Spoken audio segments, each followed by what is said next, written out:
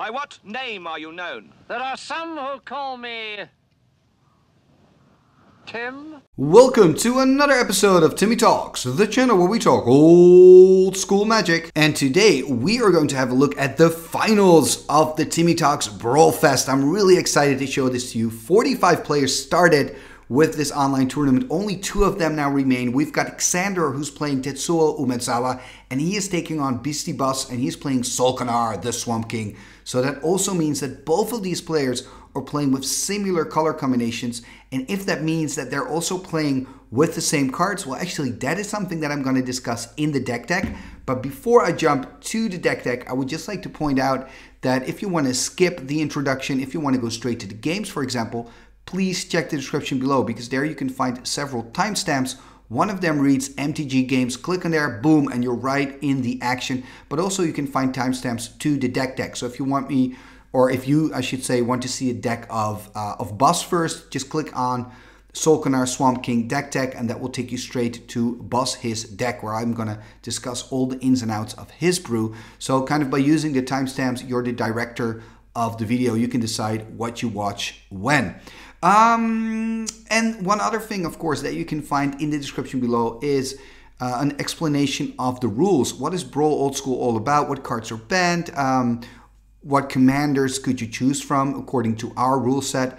Check the description below for all that information. It's quite interesting if you enjoy this format. You can also find a playlist there where you can see all the match videos of this tournament. So it starts with the group stages all the way to this point, the finals. Okay, I've said enough. The introduction's done. Now we're going to start with the deck techs, and I'm actually going to start with the deck of. Let's start with the deck of Xandor. Let's take a look at his Tetsuo Umezawa build. And here we see the deck of Xandor, and you probably recognize this deck because we also saw it in the semifinals. So I'm just going to give a brief deck tech, just share with you what I noticed. So first off, the commander Tetsuo is a 3-3 for 3, which is huge. And it also has a really cool ability, one red, one blue, uh, two black and tap, and it can destroy target tapped creature or target blocking creature. So it's kind of a better Royal Assassin, but the problem is you need all those mana. So I guess it's not really better than Royal Assassin. But you know what I mean. The ability is better, but you have to have the manas, you know, because it's it's it's a high mana cost. Anyway, because he's playing with Tetsuo, he probably decided to put in kind of a tap theme in this deck as well. We see Icy Manipulator that can tap creatures down. We see Paralyze that can do the same thing.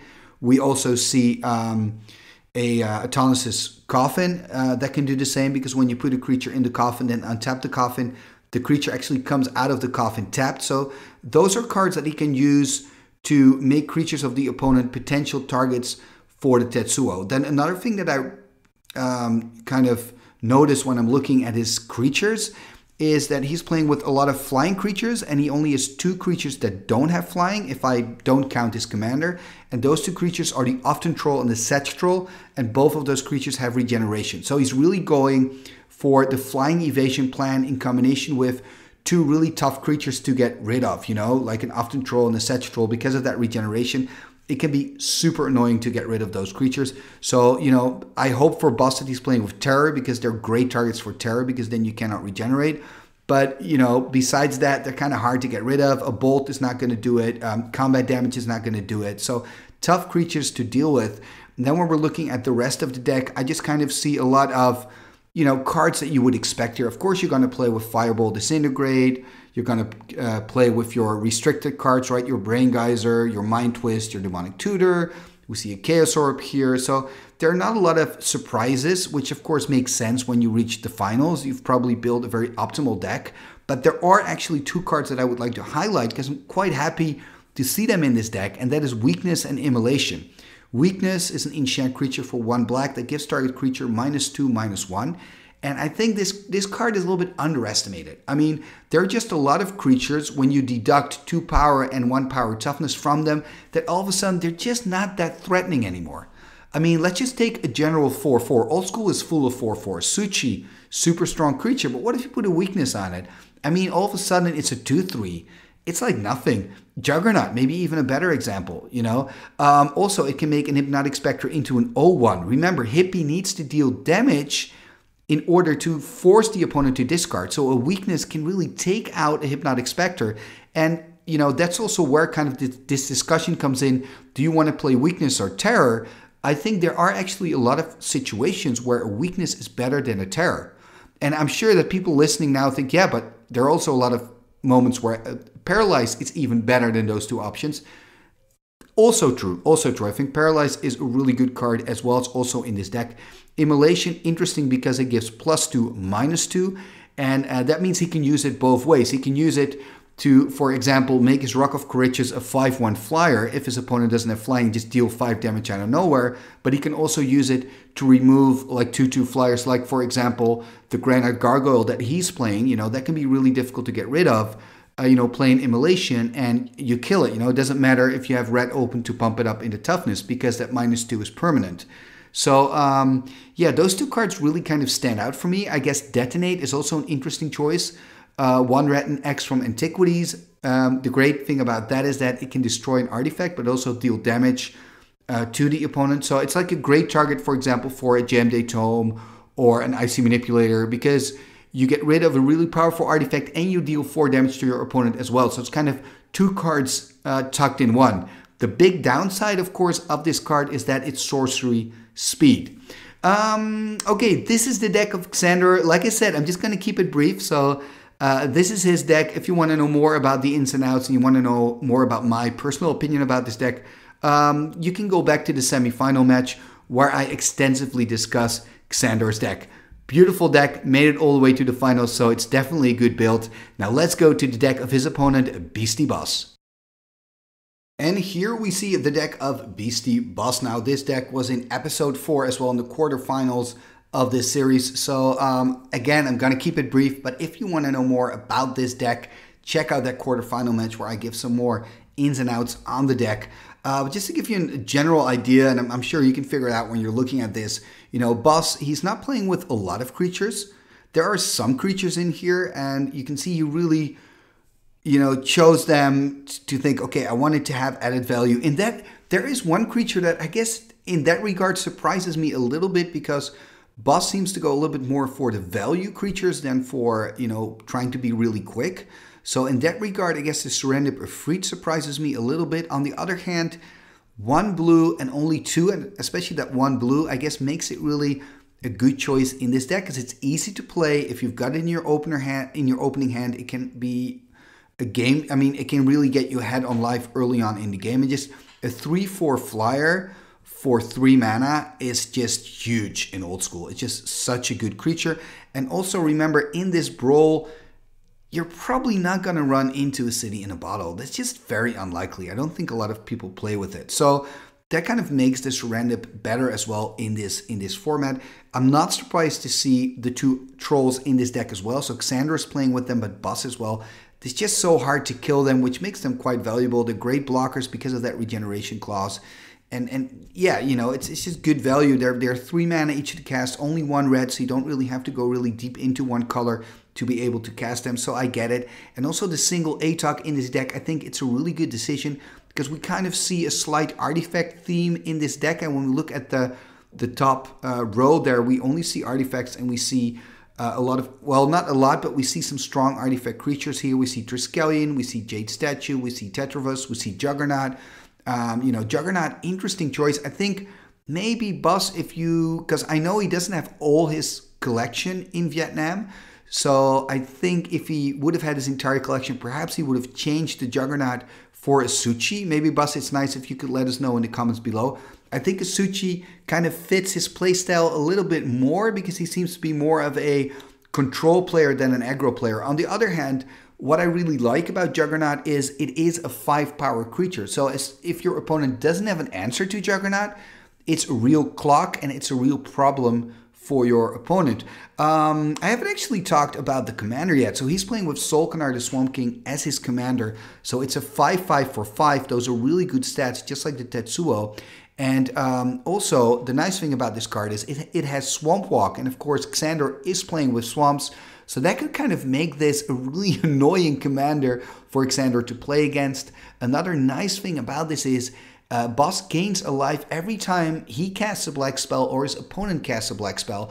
And that can actually be decisive as well. Sometimes you just get that one point that you need to stay alive and win the game. I've, I've actually had that happen when I played with Solkanar in the in EDH. So I know that that ability is definitely worth checking out. Um, then I guess I want to mention the Abyss. The Abyss is something I talked about uh, when when looking at this deck for the quarterfinal match.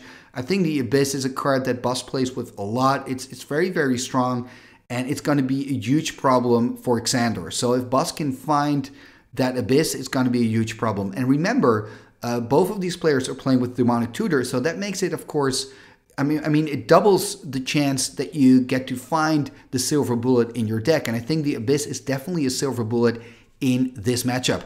Okay, so this is the deck of Beastie Bus. We've looked at the deck of Xander. That means we're ready for the finals. I'm really excited. At the end of this video, we will know who has won the Timmy Talks Brawl Fest. Here we go. Game number one is about to begin here. We see Xander on the left with Tetsuo and Bas on the right with Solkanar. So Xander starting here with a basic swamp. Let's see what Bas is going to bring us. That looks like an underground sea. And as you can see, I've put the um, cards on the screen here for you because I do realize that the quality is not the greatest. Something went wrong with the recording here. So that's why I'm kind of helping you by showing the card here. We just saw Bas, by the way, casting an Ancestral Recall. Uh, maybe it's nice to note that Xander is playing fully underpowered, so there's no power in his deck. Bas does have access to the Moxen and the blue power. Is playing with Recall, Time Walk, and with uh, Time Twister. And there we see a Mishra's Factory. So he could start swinging in next turn. Let's see if he wants to play something out. Going through the cards, Looks like he's a little bit unsure what to do. Sorting his hand, and oh, he has to discard. That's why it's taken him so long. And I think, I'm not sure what card this is. Could be a Terror there in the bin. So that kind of explains why it's taken him so long. I thought, is he doubting about what to play out? And that seems to be a basic swamp. So he's discarding two cards there. That's of course the result of that ancestral recall. There we see an early cast of Tetsuo Umezawa. And of course, that's what you want to do when you're Xander. Get your 3-3 commander out on turn number 3 You're Finding that Badlands that gives him the ability to cast it. And now it's on to Bas to see if he has an answer. Of course, he can block on the Mishra's Factory uh, next turn because he can. Uh, the Mishra's Factory can pump itself, so he could trade. He's playing a basic Mountaineer. There's a Chain Lightning. Okay, taking care of Tetsuo Umezawa and you see it gets a counter, that, that means that if Xander wants to recast it, he has to pay two extra. And there we see an attack by the Mishra's Factory as well. So Xander is going to drop to 18 here. And we see Bas still on 20, by the way. Didn't take any damage yet. There we see Xandor playing Island number 2. And tapping 3. And there is the Uthden Troll. A 2-2 and 1 red to regenerate. And of course, he doesn't have any regeneration uh, mana open at the moment. So if Bas can find a lightning bolt, for example, he can uh, kill the Uthden Troll. Now here we see a strip mine. He could consider stripping the Badlands. Yeah, that's exactly what he does because that means that Xander doesn't have any access to red anymore and he doesn't have double black. And now he's tapping three. What is he going to cast here? Psyblast perhaps on the troll? A Stone Rain, okay. And interesting enough, he's going for blue. I kind of would have thought he would go for black because that would uh, take out another color for Xander. I guess this was the right decision because Xander had another swamp in hand. Passing turn here. I'm a little bit surprised that he's not attacking with the troll. I guess he wants to have it on blocking duty since he's lower on life. And then he can trade it for the factory if Bas wants to attack with the factory. Let's see what he can do. Does he have a land in hand? I mean, he discarded a basic swamp earlier. And of course, he had that strip mine. Looks like he is animating it. No, he's not. Okay, so oh, he's animating it so he can copy it with copy artifact. So that means he's got two Mishra's Factories using the mana from the Mishra's Factory to cast a Black Vice. We can see that Xander's got five cards in hand. That means he's going to take one damage from the Vice next turn. And uh, it's pretty cool. You can copy the um, Mishra's Factory, but you have to animate it first because then it's a 2-2 artifact creature. The interesting thing is when you copy it, it actually comes into play as a as a land. So you can tap it immediately to give you a mana because it's not copied as a creature, so it doesn't have summoning sickness. So it's pretty. It's a pretty unique card, Mishra's, uh, Mishra's Factory, and I guess copy artifact as well. So passing turn here, we see Xander dropping to 17 because of the Vice. And let's see what else he can do here. Going through his cards, I have to say at times the connection was a little bit unstable, so there could be some little cuts in this video, but I'll talk you through it. Uh, through it. Don't worry. For example, now we see Xander's hands. it seems to be pretty frozen, but Bas's uh, screen is working just fine. He's tapping a mountain and his underground sea and a Mishra's factory. And what's he? What is he going to cast here? Looking at his hand, and there's a Serendib Efreet, one blue and two for a 3-4 flying powerhouse from the uh, Arabian Nights expansion. It will give Bas one damage during the upkeep, but that's a small price to pay for a 3-4 flyer. And it looks like Xander is back again, and he's taking another damage from the Vice, still at 5 cards in hand, so he's dropping to 16. And what is he going to do next? He still needs a mountain and then he can recast Tetsuo. Oh, paralyzed. Very good player. So that's going to tap down that Serendib.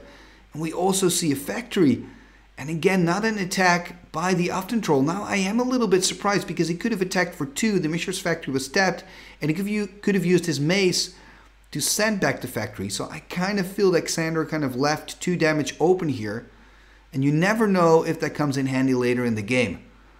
There we see Bas tapping 4, 5, and he's going to cast his commander Solkanar the Swamp King, a 5-5 with Swamp Walk, and I guess that Xander is really, really happy that he's got that Maze of Ith that he can use to send back that Solkanar, because remember, Xander has swamps, so the Solkanar is unblockable. There's another swamp, by the way, by Xander. Cannot find any red mana, and there's an air elemental, 4-4 flying creature. Beautiful art by Richard Thomas and uh, he can start swinging in. And maybe you're wondering, is the entire deck of Xander black bordered? I wish it was. I think it's, um, or actually, I know he told me he's using those uh, sleeves where you kind of see that black bordered effect. And here we see Bas. He's going to untap his Serendib. He's going to take a damage from the Serendib, drop to 18. And I don't think it really pays off to attack here. Exactly. He's just passing turn. That Maze of Ith is making it difficult for Buster, or else he could have attacked with the Solkanar. Let's see what Xander can do here. Finding another swamp. He's very unlucky in the mountain department. Because besides the Badlands, he hasn't drawn into a single red source. There is a Mind Twist. Oh! So now forcing Bas to discard his hand. There we see a Triskelion, a Tetravus, a Shatter, and what's that? A Wheel of Fortune. Ah, that's so unfortunate. I love to see Wheel of Fortune. I'm not quite sure if it was, but I think so. And there we see an attack with the 4-4. Wonder if Bas, he's probably just going to take the damage here. He can jump. Okay, he's deciding to jump. He thinks, you know what, it's not really useful and I don't want to take the damage. And at least he gets rid of the paralyzed then as well. I, I understand why Bas is doing this. I mean, it saves you 4 damage plus the damage you would get from the Serendib itself, so it saves you 5 damage. It's not too bad, but it's looking really bad for Bas after that Mind Twist, of course. He's got one card in hand. Xander's got two cards. He's got the 4-4 Flyer. I mean, he's got to get rid of that 4-4 Flyer. I guess that's really important. He could consider animating his factory, attacking with both. Oh, he's just going to attack with everything now. And uh, that's also because, of course, Xander only has that Uthden Troll. And remember, he cannot regenerate it. So it's probably just going to take four. Or is he going to trade? I guess he could trade as well. It's not too bad. Yeah, he's going to trade. Okay, so losing the Uthden Troll, taking two damage, going to drop to 14. I mean, this makes perfect sense from Bas's perspective. But if you're Xander, you're not really worried about this. I mean, he can still swing in for four. Exactly. So Bas is going to drop to 14. There we see Xandor and he's casting Azure Drake, and that's a great blocker for the factory, and also just another creature through the air 2 4. And remember, Xander's deck is full of flying creatures. He's got Roc of Kher Ridges, Phantom Monster, the flyers he's got on the board, so he's he really went into the flyers. There's a recall, and he's going to recall for one here, taking away the island. And what is he going to pick up? There's quite a lot in in his graveyard, but is there anything really useful? Perhaps Stone Rain on the Maze of Ith, because then he can swing in and at least deal 5. We see Xander is on 14, that would mean he would drop to 9. There's a Strip Mine, of course, better than the Stone Rain. So Strip Mine stripping the Maze of Ith, exactly. Swinging in with Solkanar the Swamp King. There we saw a small glitch on the line, by the way. But it doesn't matter, we haven't missed much. Xander is on 9. He's going to untap, attack for 6. Bas going to drop to 9 as well, or, or to 10. Oh, eight even. Okay, dropping to eight. There we see a weakness, and the weakness I discussed in the deck tech. It's really cool to see cards like this in the final. It does mean that Bas is going to gain a life from the weakness because of his Solkanar the Swamp King. So he's actually going to go up in life, going to go to nine. But that Solkanar is now a 3-4 creature, and it's just not as impressive as a 5-5. And he's going to animate, so he's going to swing in for 5. There we see a little glitch on the line again. And is he gonna he's gonna drop to four? Oh, this is such a close game. I wonder what Xander is gonna do. Maybe he needs to keep his flying army untapped. And I wonder if Xander, you know, maybe forgot about the Mishra's factory. So he's just gonna attack you with the air elemental. So we see Bas dropping to five. There's an icy manipulator. This is really good news here for, for Xander because now he can tap down the Solkanar, the Swamp King, and then of course he can block the Mishra's Factory on the Azure Drake. So things are looking really good for Xander, but if Buskin, for example, finds some uh, direct damage, he can still win this game. And Bas still has the Underground Sea, so he has access. Oh, there's a Chaos Orb. This is such an exciting game. He's going to flip. Is he going to flip on... And there, of course, we see an activation on the Icy. A nice thing to know about Chaos Orb, when you activate it, your opponent has a chance to respond, but you don't have to say what you're going to target. So your opponent has to make that decision without knowing the target. So there we're going to see the flip. There's a glitch on the line or not. Oh, very shaky connection here. There we see the card hanging in midair. I think it missed. Did it miss? I mean, look at the board of Xander. It's intact. And I guess he was aiming for the air elemental because he needed to aim for that to stay alive. Yes, he missed, and that probably means that Xander is going to take the victory. He's going to fly over to Mishra's factory. That's the only possible blocker. Yep, that's it. So game number one, a win here for Xander. Oh, and what if Bas would have made that flip? It's always going to be an if. Anyway, Xander winning game number one. Game number two, here we go. One up for Xander. And let's see what Bas can do on the play because of that loss. Starting with an Ivory Tower, and I think that's an Underground Sea again. So he's got five cards in hand still. And passing turn here to Xander. Xander starting with a Mana Vault. So he's ramping up. So maybe next turn he could play Sengir if he can find another black. It's a possibility. We see Bas going up one life, by the way, because of that Ivory Tower going to 21. Let's see what else he can do. There is a Mox Ruby and a basic mountain tapping three. Ooh, a Serendib Efreet. What a good start here for Beastie Boss. So he can swing in for three next turn. There we see Xander playing an island. I wonder, I wonder, what is he going to play? Maybe nothing.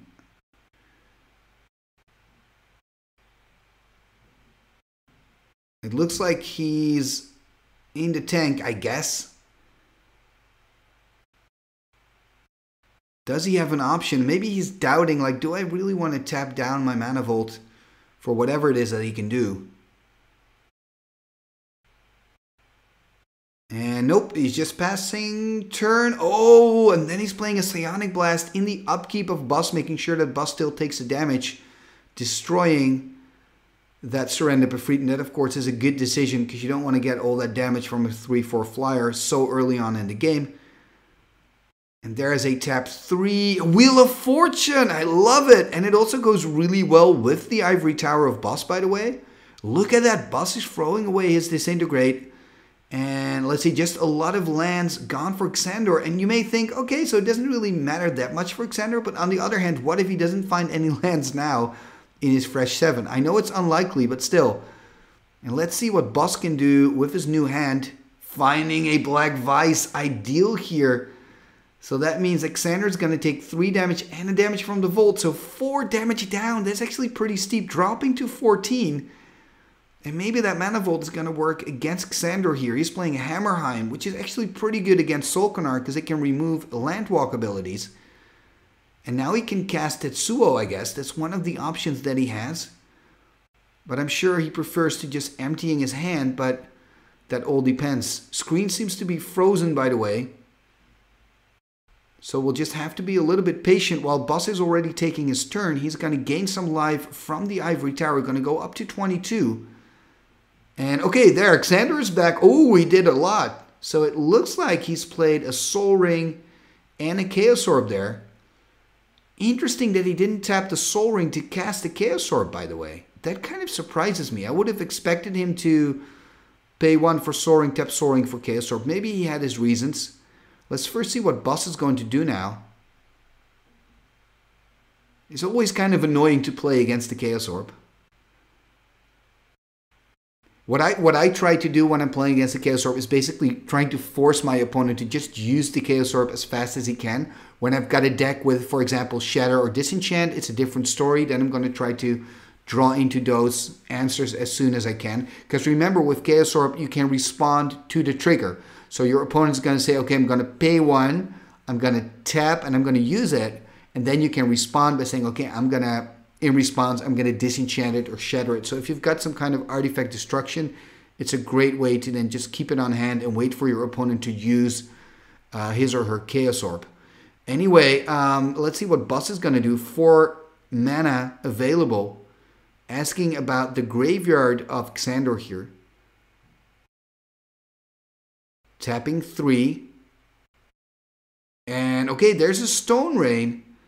And he's going to take care of the Hammerheim, probably because Hammerheim can get rid of the Landwalk ability. And it looks like Xander at least is going to take another damage from the Vault and another damage from the Vice. It looks like his hand count is 5 at the moment, looking at that green dice. Yeah, so he's taking 2 damage in total, going to drop to 13 and things are looking okayish for Bas. They're not looking great, but not looking bad either. I mean, he is managing to kind of deal damage to Xander without really doing that much himself. And he's actually going to drop to 12. There we see an Ancestral Recall by Bas. Yeah, and power, of course, is really something that when you're kind of stuck can get you out of a difficult point in the game. And now we see Xander casting a Jayemdae Tome. So that is a really nice card for Xander. On the other hand, he does have that Black Vice. Four cards in hand now, so he's not taking any damage from the Vice. Bas, of course, having a lot of cards in hand after that Ancestral Recall. Does he have something to do? Playing out a land first, a basic mountain. Is he going to play something out to kind of seduce Xander to use that Chaos Orb? That's kind of what I'm expecting. Maybe he's playing out like a creature that's not great, but also a little threat. What he could do is, uh, of course, as well, is cast his Solkanar, the Swamp King.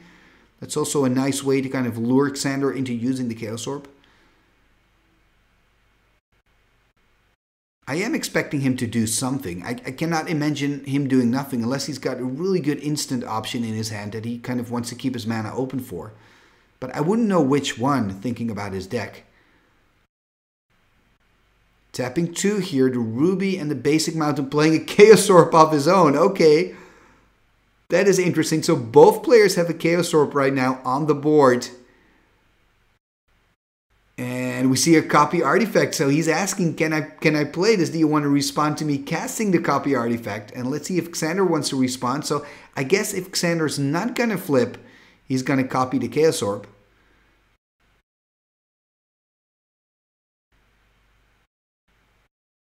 I wonder, it looks like he's allowed to, so now he's copying the Chaos Orb. So all of a sudden, Bas has two Chaos Orbs and Xander only has one. And now the next question is who's going to activate it first? It's like the Wild West. It's like one of those stare downs. I wonder if he's going to activate it or if he just passes turn. Looks like he's passing turn. So now Xander's going to uh, untap his Mana Vault. Not taking any damage from the Vice, of course, because he was on four cards. And they're playing a Maze of Ith. That could be a good target for one of the Chaos Orbs. Bas is going to untap, so not using that one swamp to flip his orb. He's going to go up in life again. Look at his life total. He's on 28 right now. That is really good. Playing out of Badlands. And he probably doesn't want to play out too much. He just wants to keep gaining life.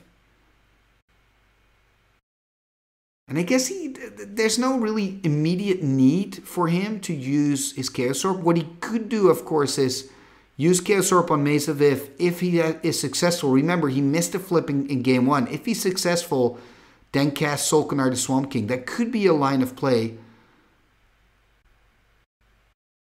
Because then if Xander chooses to use his Chaos Orb on the Sol'kanar, the Sol'kanar goes back to the command zone and Bas can recast it the next turn for 7. He's got 6 mana sources now, so if he can just play a land out next turn. And I think he's just activated one of his Chaos Orbs because he's played the mana. Yep, here we go. Is he going to target the Chaos Orb? Yeah, he's targeted the Chaos Orb and not the Maze of Ith, so choosing another line of play.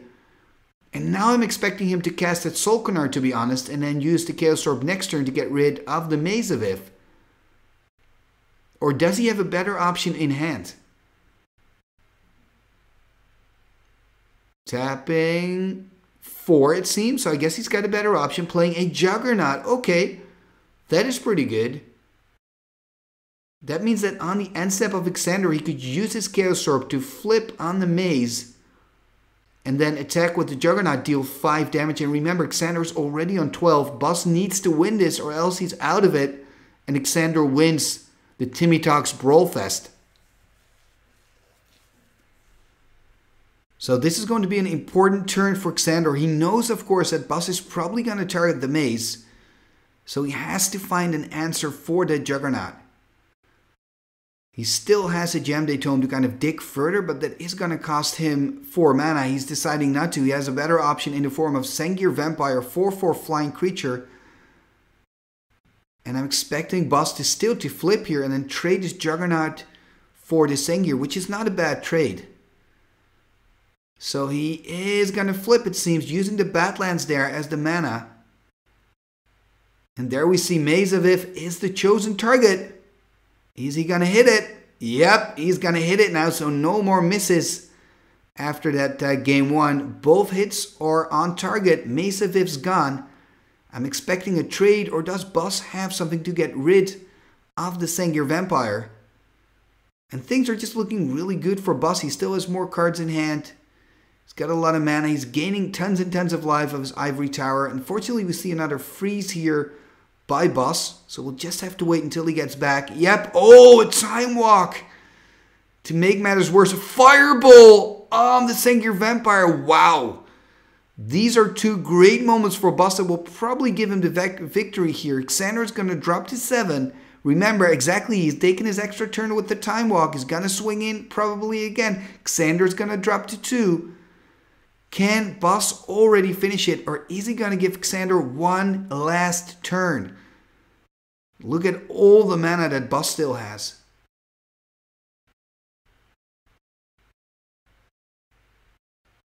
Tapping there his Mox. Untapping it again. Tapping it again. He's, he's really not sure what he wants to do here. I, I guess he doesn't want to give Xander another turn. Tapping three. Are we going to see a Psyblast? I guess if he had a Psyblast, he would have played it already. Maybe it's a draw seven. I, I don't think you want to do that when you're Bas. You don't want to. I mean, look at the hand size. Well, Xander's got four in hand. I guess you do want to do that, of course, because you've got Device is there going to be a draw seven? It looks like Bas is he's kind of stuck at the moment. Okay, now he untap taps again. Ooh, this is really annoying having these freeze frames at the moment when we're so close to the end of game number two. But it is what it is, I'm afraid. Remember, Bas is playing all the way from Vietnam, so connections are kind of shaky. Tapping five here. Okay, he's just recasting Sol'kanar. I was thinking maybe Wheel, Time Twister, uh, Psionic Blast just to finish Xander off, but it looks like Xander is getting one last turn. And nope, that's it. Not finding what he needs to find, and that means that Bas is winning game number two, and that means it's a 1 1. Game number three, the decider. Here we go. I love it when the finals goes to three games. That's the way it should be. And it's still everybody's game. And Xander is on the play, of course, here. And oh, look at Bas. It seems like he's taken a double mulligan. Starting on five, then, in that case. That is huge. Is he to start on four even? Is he to lose another card? Let's wait and see. Still going through the motion here.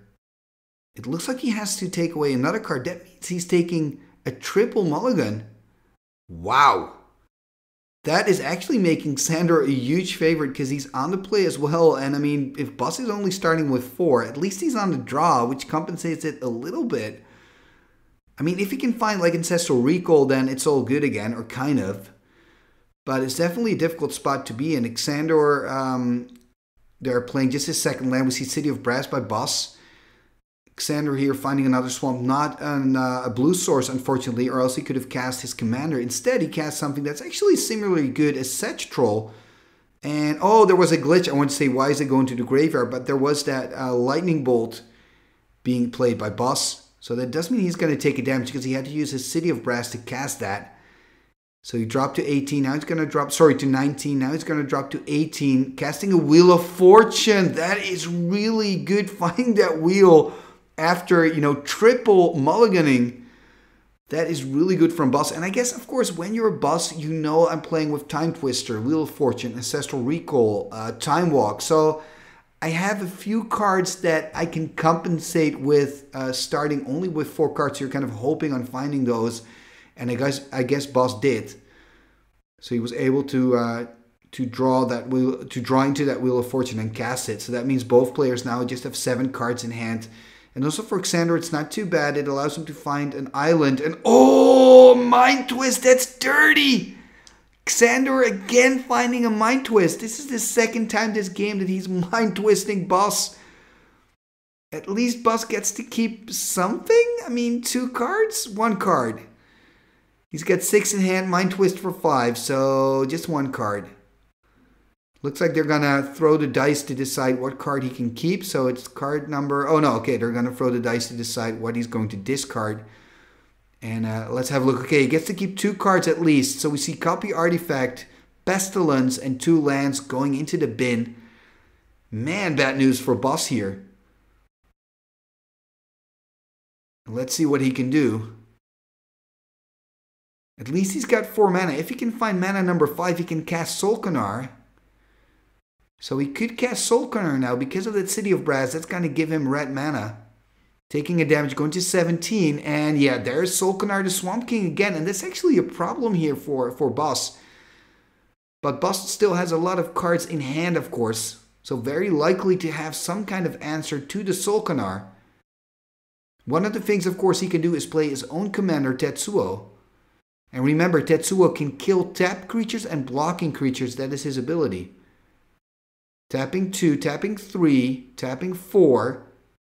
Still having mana open to play that Tetsuo. Are we going to see, I don't know, an Icy Manipulator perhaps? Okay, Tawnos's Coffin. So Tawnos's Coffin is also a great way to deal with creatures. He can pay 3 and tap it and put one of the creatures in the coffin. What then basically happens is the creature's exiled until the coffin gets untapped. And that means that if you're Bas, you can also choose to put it back into the command zone. And Bas here is choosing to put it in the coffin, it seems. And there's a pass turn. So the coffin's being used, commander's in there. Bas is playing a Badlands. Tapping. Four mana. What are we going to see? A Juggernaut. Okay. That's another problem for Xander to deal with. I wonder if he's going to untap the Tawnos's coffin. And there seems to be some static on the line again, so we're waiting for Xander here to be able to reply. Yep, he is back again, it seems. I can see a shadow. And he chooses to untap Tawnos's Coffin. That means that the creature that's in it, in this case the Sol'kanar, comes back into play tapped. There is a volcanic island. Kind of expecting him to cast a Tetsuo now, or does he have a better option? He could cast Tetsuo and keep mana open to use his Tawnos's Coffin. That could be a line of play here. It looks like he wants to keep 6 mana. Is he going to cast a Shivan Dragon? He is playing with a copy of it. We haven't seen it yet. Would be really cool to see a Shivan Dragon in the finals.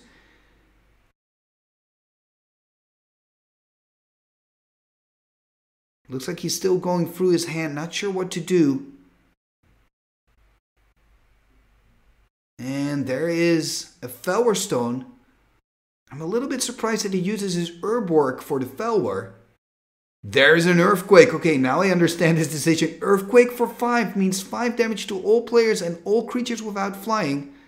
And of course, Earthquake is really good in Xander's deck because he plays with regeneration creatures and flying creatures only.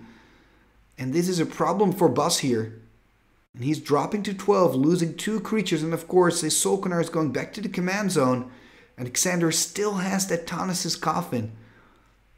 I guess when you're Bas, you want to try to recast your Sol'kanar, but you need 7 mana and he's only got 6. Two cards in hand passing turn here. So things are really looking good for Xandor. And yep, he's casting his Tetsuo Umezawa. So next turn he can start swinging in for some damage with the Tetsuo, and there is a Demonic Tutor to make matters worse. Now remember, Xander is not playing with power, or else he would have probably looked up an Ancestral Recall. One of the options that he does have is looking up a Brain Geyser. That would be really good because he's got tons and tons of mana. That would probably be my choice, but maybe I'm missing something. That could be the case. We'll just have to wait and see. If he's looked up a Brain Geyser, he's probably going to pass. And then wait to play the Brain Geyser the next turn because then he's got all his lands to his disposal again. He can just really refill his hand. Shuffling up here. And putting it back. Tapping. Okay, there's an Icy Manipulator. Also a really good card, of course. Doesn't have mana left to use the Icy. There we see a Strip Mine. And it looks like he's going to tap four. Play a Nevinyrral's Disc. That is a really good card right now. One disc activation could wipe out so many permanents on the side of Xandor. That is a really good card. Xander would lose an Icy and Coffin. Those are huge artifacts. And oh, detonate here. Wow, that is really good. Getting rid of the Nevinyrral's Disc and dealing 4 damage in the process and attacking with the Tetsuo. That means that Bas is now dropping to 5 measly life. Is Xander gonna win? Is he gonna be the new Brawl champion? The first Brawl champion, I should say, here on Timmy Talks. There is a Chaos Orb making matters even worse for Bas here. Oh man, he needs a miracle. What he really needs is that Nevinyrral's disc, but it's gone. It's destroyed by the detonate. Tapping three. Are we going to see a draw seven? No, tapping four. There is a disintegrate on the Tetsuo, so at least it's going to keep him alive a little bit longer. Is it solving any of his problems? Not really, but he's still alive. That's something. And when you're alive, I guess you can still win it. Just recasting that Tetsuo, he's got more than enough mana to pay the two extra, just having to tap that single Sol Ring to do that. Using his Icy to tap down the city, and in response, Bas is destroying his own city of brass.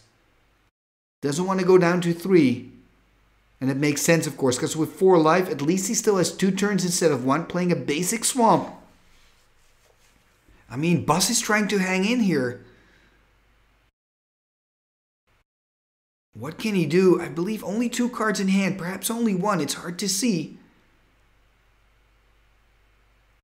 Only one, I guess.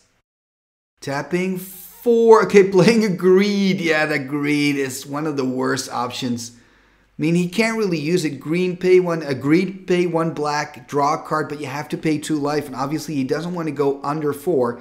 And now he's on one, so the greed is absolutely useless. And a pass turn here. Last chance for Bas, but I really don't see this happen happening. What can he do? Nope. There's a recall. That's it. There's nothing he can do with that recall because he's got no cards in hand. So that recall, what a horrible top deck for you, Bas. But let's focus here on the winner of the tournament. Xandor, congratulations with winning. And I'm actually really, really happy to see you win. You've done so well. Uh, we had a few of your matches before this final on the channel. And uh, yeah, you're a great patron to have, and uh, it's it's a great victory, man. It's actually your second victory of a Timmy Talks tournament, so that's fantastic. And here we see the deck of Xander, by the way.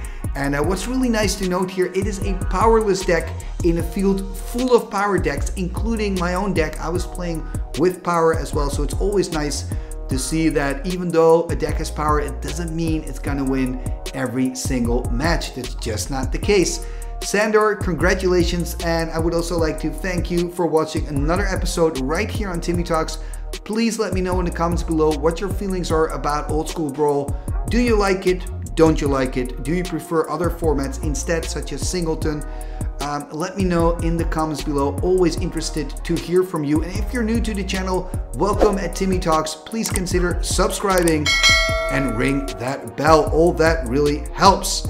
Talking about things that help, you can also become a patron of the channel. And how can you do that? It's quite simple. There's a link popping up right now, a little info card that's appearing.